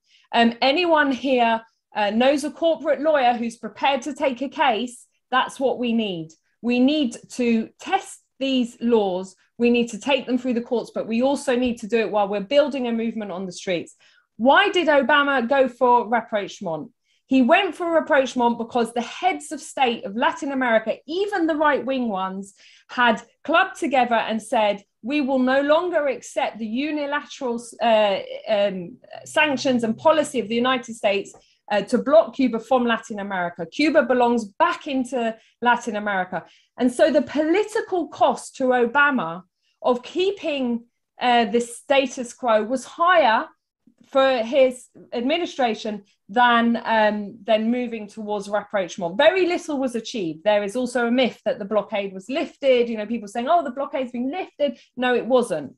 But the point is that we need to create scenarios in our own countries where the political cost for Britain, for the EU, for the Canadian government of allowing the US to impose illegally its unilateral sanctions is um, higher it, it costs more for them. There is a movement to create problems for them than allowing it to carry on the status quo. So, you know, it is it is so difficult to do anything with Cuba. I've mentioned sending donations. I'm trying to do a research project with a Cuban partner. And you know, we got permission from the the sort of academic side, it's all gone through, but our um, finance office is saying you can't do it because HSBC, will not have any transaction with Cuba because it's been put on high risk because Trump maliciously, viciously, in days before he left, uh, put Cuba back on that list of uh, uh countries that uh, support uh, terrorist sponsors. Uh, state sponsors of terrorism. And, you know, we need to hold our governments and our financial institutions to account because this is illegal. I think that's so important. Thank you, Helen. And it's important uh, both in the case of Cuba as well as in the case of other countries that are being targeted, whether it is Venezuela or China or whatever. And I think what Helen recommends that we have to make it more difficult for our governments to cooperate with the United States is very, very important. Um, other speakers would like to respond to the three questions raised, particularly around Amy Klobuchar's bill and uh, what we should make of it and uh, and also other developments in Latin America. Uh, anyone would like to, to go? Uh, any of the speakers? If I may, I think, you know, at this moment, I, I fully agree with Helen. You know, we have to make it unbearable for all governments, including the US government, to continue waging its war on Cuba in that space though in in the spectrum of what we do i think all tactics are favorable. All forms of struggle are favorable. I personally don't believe that right now legislative projects in in the us will advance very much um, to end the blockade or to even limit certain segments of the blockade. But if folks feel they can put pressure in congress go ahead if folks feel that now is their time and they feel strong about sending aid to Cuba, let's do it. If it's doing open letters, if it's organizing activities, whatever it is, but we must do it. I think part of it is thinking about what Nino was talking about. Often there is a separation of, you know, what we call foreign policy issues from ordinary struggles or everyday struggles. I think we have to end that separation. And sort of that that sort of depends also on expanding what we I would call the Friends of Cuba group. All of us on this call are friends of Cuba, but Cuba needs more than just us as their friends. That means expanding that movement and broadening it to include the leading struggles of our moment without asking them to surrender what they talk about or surrender their own agendas. But how do we actually bring together the agendas for Black liberation with Cuba's struggle against racism?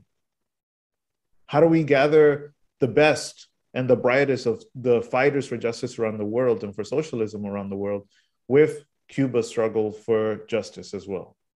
I think that's sort of the, the need to broaden at this moment. And knowing that not one thing in particular will be the defining factor to end the blockade but the summation, the accumulation of all these processes and all these forces united in struggle. That's very important. Thank you, uh, Manolo. I think, Chris, you wanted to say something, and then Arnold. Yeah, thanks, Radhika. It's just in reply to uh, Serge's question, really, about Ireland. And, and one of your uh, commentators put into the chat reminder that, yes, the, the EU's Economic Trade uh, Commissioner at the minute is actually an Irish politician, uh, Mairead McGuinness. Um, Ireland's obviously a small nation uh, amongst the, the nations of the world and certainly the EU. But there's an opportunity, I certainly believe, when it comes to the EU, um, to be using whatever leverage it has to try and reopen um, some of these discussions again. We've seen it, and it goes back to what Helen Manolo has just said, talking about using whatever leverage you can um, to try, and it is very often in courtrooms and on streets to be able to open up the advantages we have seen Irish industry start to do some really good um, deals with China uh, in and around our agricultural and agri-food sectors. Ireland is well known across the world for world-class products whenever it comes to food and agriculture.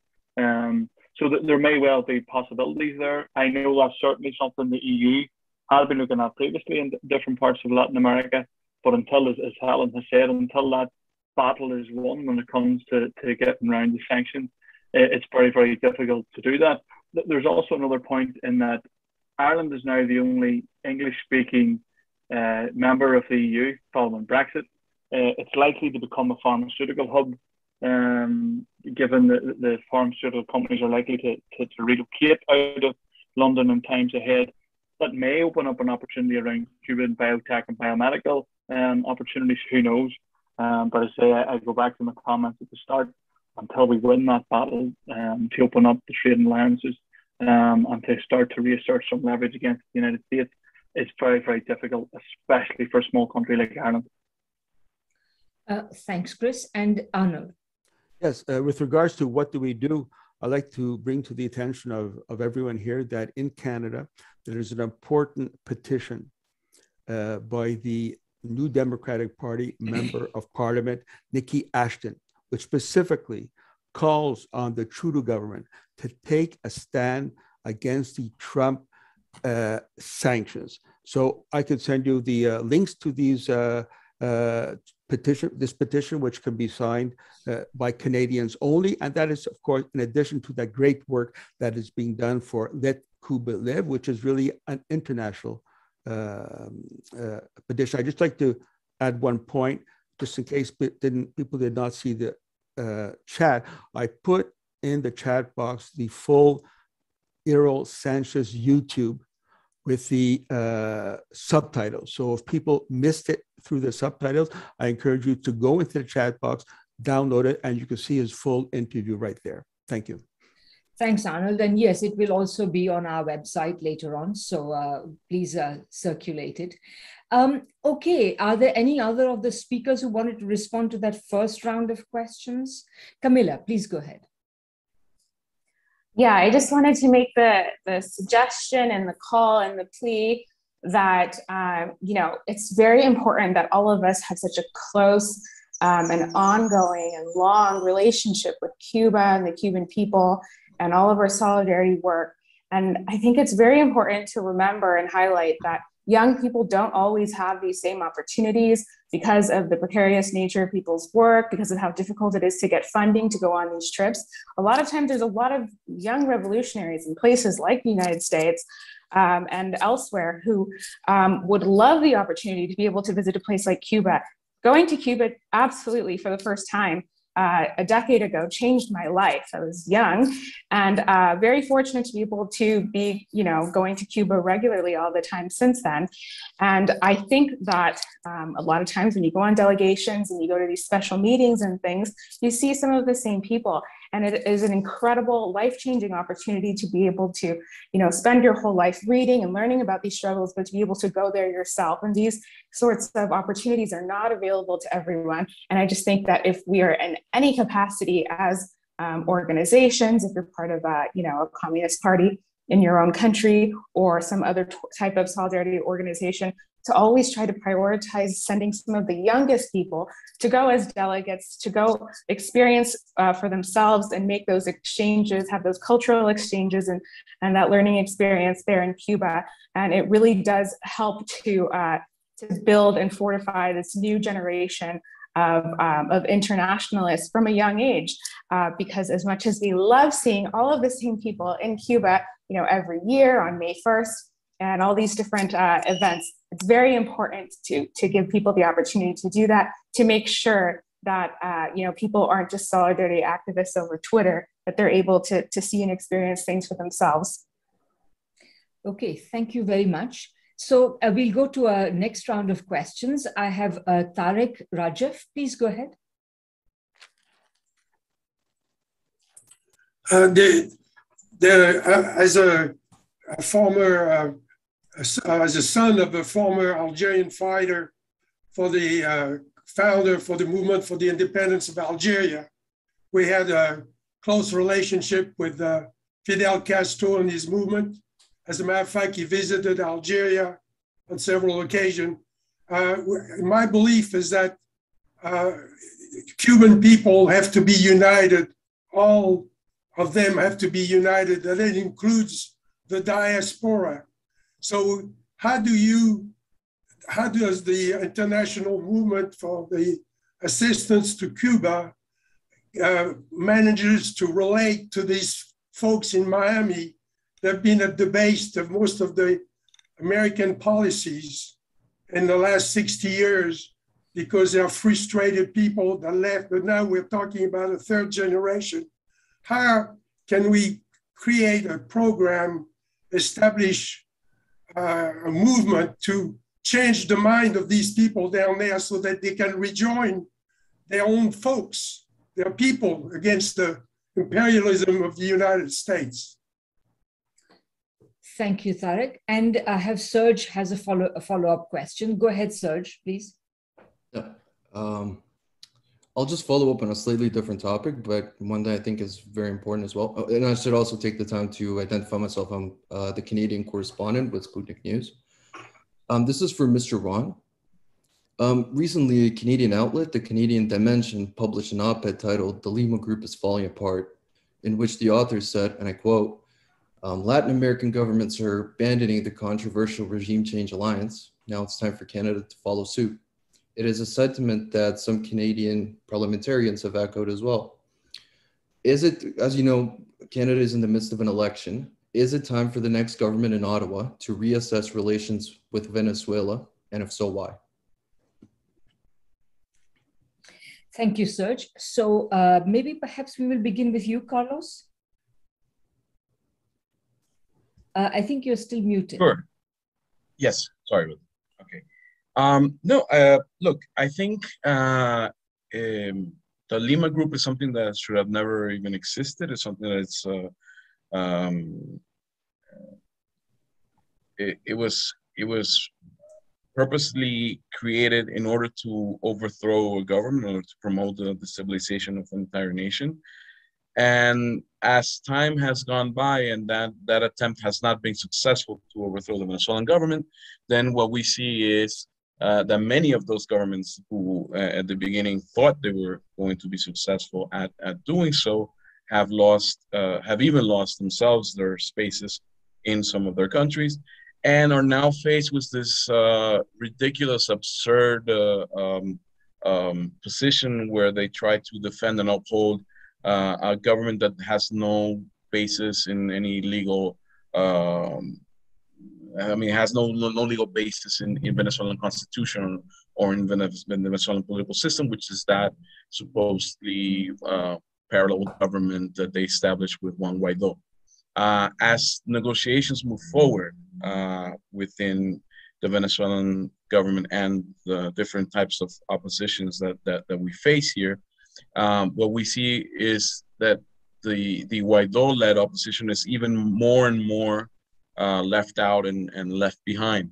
So again, uh, I, I think it's a lesson for everybody throughout the continent that uh, you cannot impose a change of government on Venezuela or on Cuba or on any other where uh, uh, where there's a popular backing of of such governments. Our our our decisions are ha have to be made by our peoples, not by impositions from outside. the best route for these governments would be to simply recognize what the will of the Venezuelan people is and accept, uh, uh, you know, our, our democratic uh, structures. Um, and in practice, whatever they decide to do or not, you, know, you could you could tell that by now they lost a lot of ground. Uh, they've lost that effort of using the Lima uh, cartel as a, as a group of pressure against against Venezuela.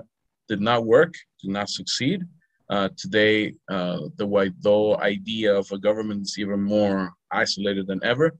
And as a matter of fact, if you see in the in the dialogue that's going on in Mexico, uh, you know, there's there's clearly a document where it says one side is the government of Venezuela and the other side is a unity platform of opposition.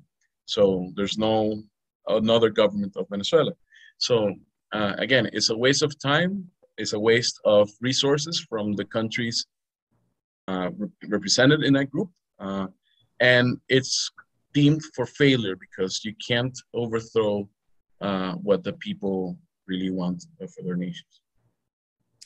Great, thank you. Um, any other speakers would like to take up these questions of anti-imperialist solidarity of uh, Helen, please, yes.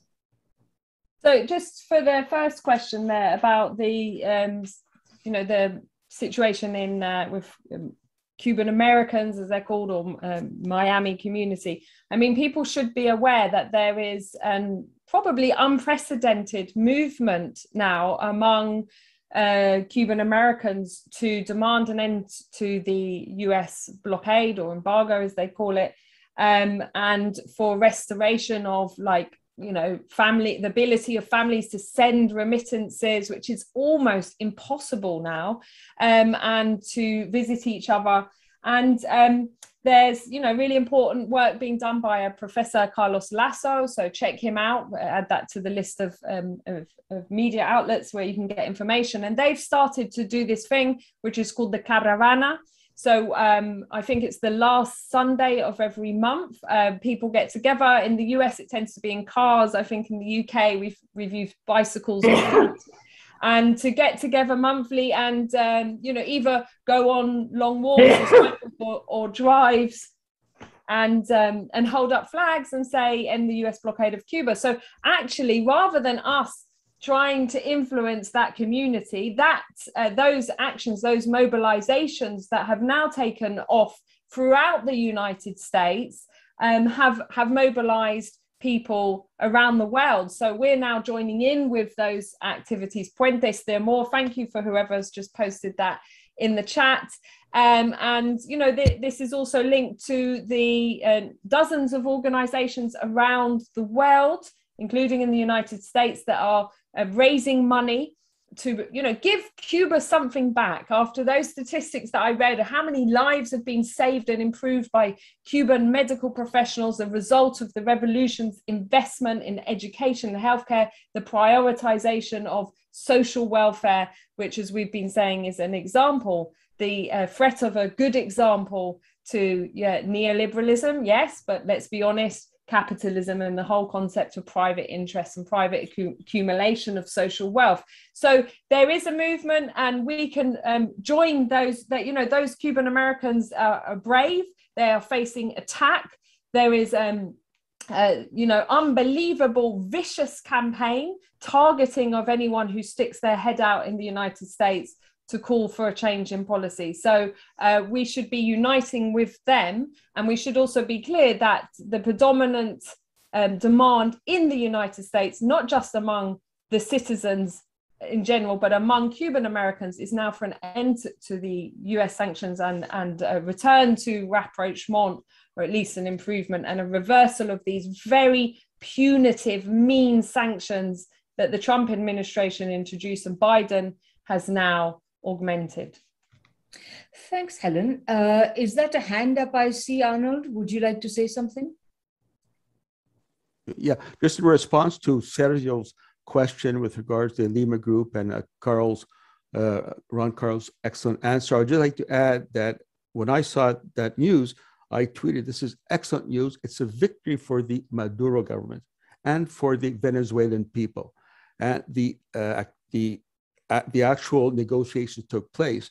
But it was very disappointing that Canada, who was always supposed to be in favor of a peaceful res uh, resolution, rather than recognizing and just say that's fine, they had to add their own two cents. That is, the, what we need is uh, presidential elections, new elections, democracy, and all that, which is not at all in the memorandum of agreement between Venezuela and the opposite and the opposition. So one other gripe that I have against the Canadian government, for which I cannot resist from telling the truth. Thank you. Thank you very much, Arnold. Are there any other interventions from the floor or from the speakers? Anyone going once, going twice? Okay, well, I think we can very happily bring this extremely stimulating set of uh, conversations or conversation to a close. I think we've heard a lot about the um, the the vanity, the incoherence, the the the but at the same time the destructiveness of American imperial policy, and we have heard also about the resilience of Cuba and of other countries fighting American imperialism, and how critically important it is to match that with popular struggles around the world. And I think that this is the key message. Once again, let me say that if you like these themes, themes of imperialism and anti-imperialism and of resistance to them, etc., please do take a look at our manifesto. I've just shared oops, um, one second. Uh, I'm just sharing the um, connect the link again. Please take a look at that. And for the rest, let me just say thank you very much to all the speakers. Um, I think it's a it's a sign of, of of how meaningful it was what you were saying that we have had so many people still sticking around till the very end. So thank you very much. And uh, please keep an eye on the International Manifesto Group's events and those, of course, of all our sponsors the No Cold War campaign, uh, the Black Agenda for Peace, the Tricontinental, and the Canada Files. Thank you very much and uh, see you again very soon. Bye bye.